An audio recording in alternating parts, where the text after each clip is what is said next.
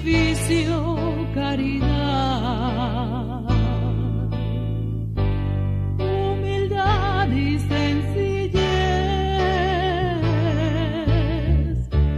fueron dones que vivió María de San José. Fue su